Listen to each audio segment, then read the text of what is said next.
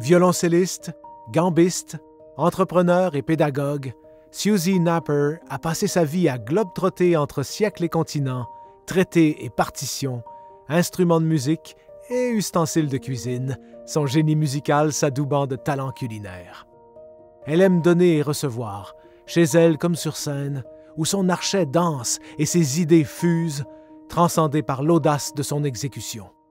Née à Londres, formée à Paris et à New York, Susie Napper s'est installée à Montréal avec son partenaire et musicien iconique Bruce Haynes.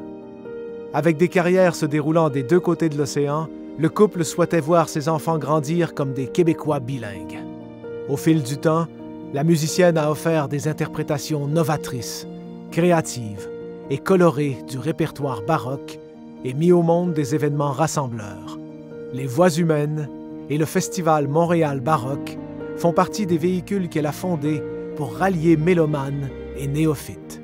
Entre autres reconnaissances, elle a été nommée Femme de mérite à Montréal et Personnalité de l'année au prix Opus 2002.